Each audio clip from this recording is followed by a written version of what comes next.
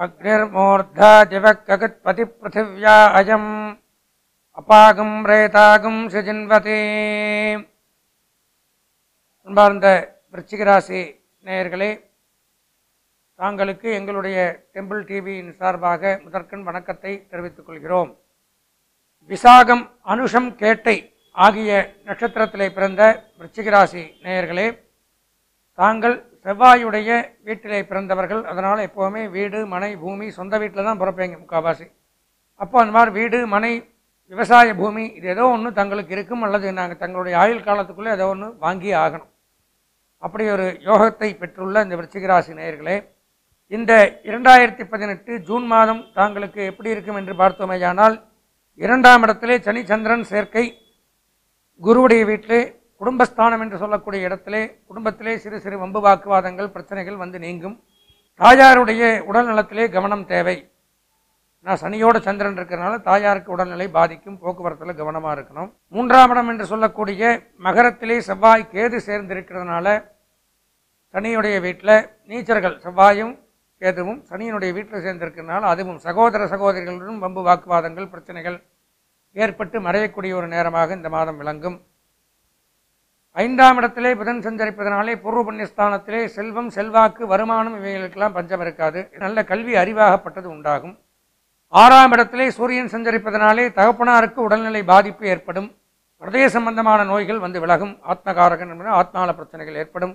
ஏழாம் இடத்துல சுக்கரன் சஞ்சரிப்பதனாலே திருமண வாழ்க்கை இனிப்பாக இருக்கும். திருமணம் ஆகாதவர்களுக்கு திருமண பேச்சுக்கள் நடைபெறும். திருமண யோகமாகப்பட்டது உண்டு.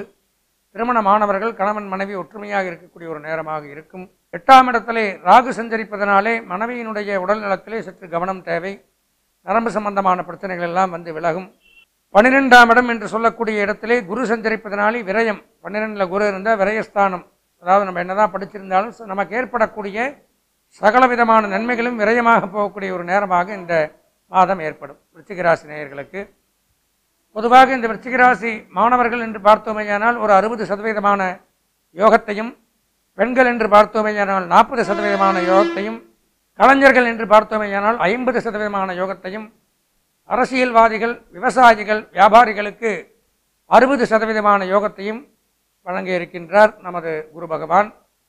அதனை தொடர்ந்து பார்த்தோமேயானால் இந்த விருச்சிகராசிக்காரர்களுக்கு இந்த ஜூன் மாதம் சந்திராஷ்டம தினங்கள் சந்திரன் நமது ராசியை எட்டாவது ராசியாக பயன்படுத்தக்கூடிய தினங்கள் என்று பார்த்தோமேயானால் பதினாலு ஆறு இரண்டாயிரத்தி பதினெட்டு வியாழன் அதிகாலை நாலு நாற்பத்தி ஓரு மணி முதல் பதினாறு ஆறு இரண்டாயிரத்தி பதினெட்டு சனி இரவு பத்து மணி பத்தொன்பது நிமிடம் வரை சந்திருக்கிறார்.